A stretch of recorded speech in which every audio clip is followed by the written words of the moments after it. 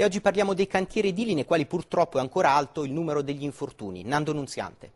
Negli ultimi cinque anni il numero degli infortuni sul lavoro nell'edilizia si è quasi dimezzato, ma circa il 40% degli incidenti avviene ancora oggi proprio nei cantieri edili. Su 157 morti negli ultimi 12 mesi, 52, ovvero il 33%, sono avvenute per cadute dall'alto. Pericolose anche le cosiddette interferenze, ovvero, come in questo cantiere, quando in spazi angusti agiscono contemporaneamente professionalità diverse. Caschi, guanti, scarpe anti-infortunistica, occhiali di protezione, imbragature e cinture di sicurezza. È l'attrezzatura che deve essere fornita obbligatoriamente a chi lavora in un cantiere. Ma purtroppo non sempre così. Fondamentale poi è sapere come usare correttamente l'attrezzatura.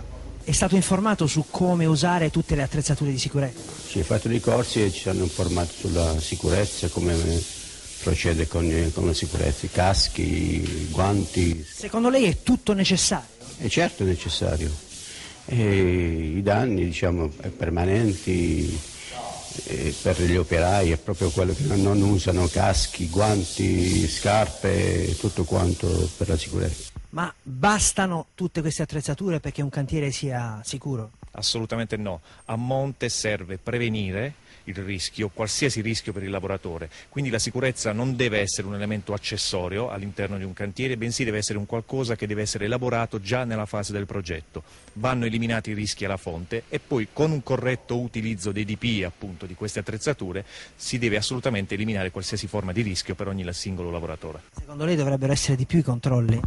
Secondo me un po' sì, ci dovrebbe stare un po' di più di controlli. Cioè, nella nostra non facciamo caso a togliere i caschi, li togliamo per lavorare meglio, però Uh, è necessario avere i caschi perché non si sa mai una caduta dall'alto o qualcosa. Tutti devono sapere cosa fanno, i rischi verso i quali vanno incontro e devono essere in grado di assumere comportamenti in grado di tutelare la loro sicurezza nell'espletamento della funzione lavorativa. Quindi è fondamentale l'informazione, ma voi prevedete anche degli incentivi? È fondamentale l'informazione, la formazione e l'addestramento. INAIL prevede degli incentivi che premiano le imprese virtuose e mette anche in finanziamento delle cospicue somme. Quest'anno abbiamo messo in uh, 307 milioni di euro per le imprese che si aggiudicheranno in graduatoria delle posizioni di merito per quanto riguarda progetti sulla salute e la sicurezza sui luoghi di lavoro. Servono maggiori controlli. Noi li accettiamo volentieri, addirittura auspichiamo maggiori controlli. I nostri rapporti con INPSI, INAIL e, Ispettorato del Lavoro sono ottimi. Riteniamo che attraverso loro probabilmente riusciamo anche a debellare la mala pianta del lavoro nero, che è quella che maggiormente ci danneggia, cioè le imprese sane vengono letteralmente maggior, danneggiate. Io dico che addirittura c'è un'economia criminale contro di noi. Quindi auspichiamo maggiori controlli quando questi controlli aiuteranno anche a debellare questa malapianta. E per la sicurezza sul lavoro c'è anche una buona notizia, nuovi stanziamenti per le imprese che investono in sicurezza appunto. Lo annuncia la TGR in occasione della nostra campagna di informazione Ester Rotoli, direttore centrale della sicurezza dell'INAIL. Da Roma Renato Cantore. Un miliardo di sgravi contributivi per le aziende virtuose, quelle dove non si sono verificati incidenti. Più di 800 milioni di finanziamenti per gli investimenti in sicurezza. Sono in termini economici i numeri della prevenzione nell'ultimo triennio. L'ultimo bando per le imprese è scaduto a fine maggio e l'INAIL è già pronta a rilanciare.